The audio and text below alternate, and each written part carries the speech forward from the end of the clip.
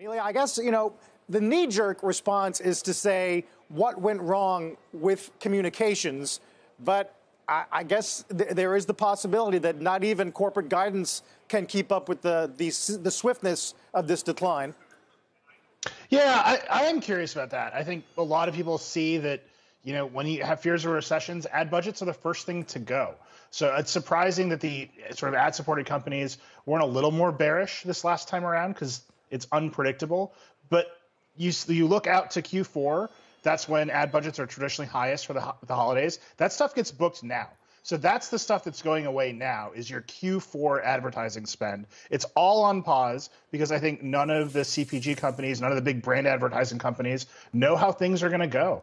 If you're an automaker, you have no idea if you're going to have cars to sell. Why on earth are you spending ad dollars on them right now? So I think that stuff is just all in a huge wait and see period. It might come back, but I think if you are an ad supported business, you're really looking at, well, I don't know when those dollars are going to come in. I got to forecast for the worst case scenario. Right. And then internally, these companies uh, in Snap Space have to wrestle with how do you how do you manage staff, right? How do you manage hiring? You've, we've seen a bit of a disparity between those who are actively laying off and those who are trying to stay uh, stable in their headcount. But that's that's very tough calculus given everything you just said.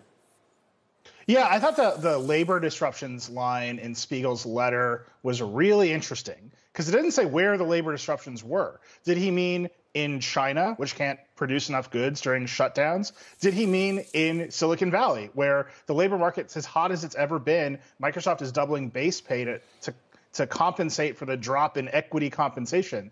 It's, it's hard to pinpoint exactly what he means by labor disruptions there. But I think one of the challenges for all these companies right now is that the labor market for tech workers is still red hot. And because the, the market is down, they're having to make up for it in cash. So that's just a huge pressure on tech companies that really hasn't happened before. That because the market has just gone up and up, they've paid everybody in stocks, and now they have to pay everybody in cash. And I think that's going to be an interesting dynamic over the next few years. Yeah, I, I wonder about that because, again, Nilay, what we're seeing this morning in the markets is not just about the uh, ad supported companies. Square right, down, right now is down more than 8%. Um, and we can go on down the line looking at other high growth companies that are down a bunch. You know, Tesla is down uh, quite a bit as well. Nvidia down 5%. Look at some uh, semiconductor names. Qualcomm uh, is also uh, down. AMD down uh, four and a half. Qualcomm down four. So, um, w- what does this do to tech worker psychology?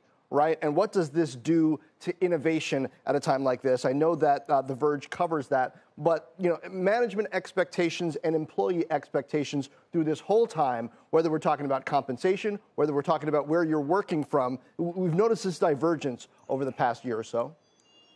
Yeah, I would say it's uh, my view is short-term pessimism, long-term optimism. Right? In the short term, these companies are disrupted. Are they going to be able to put out new products on the cadence they want to? Is every company that is currently downstream of advertising, Stripe is one of them, right? Payments. A lot of direct to consumer payments happen on Stripe. They're all downstream of advertising. So I think there's going to be a lot of short term disruption. I think a lot of people are going to leave because if you're getting paid in cash and you have a lot of cash, it's a good time to leave and start something new.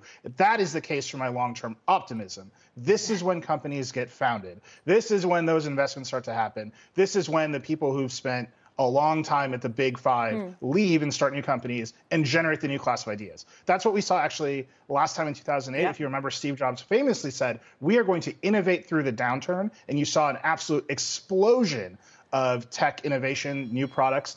I hope I'm hopeful that happens this time, but I also don't know yeah. how long this one's going to be.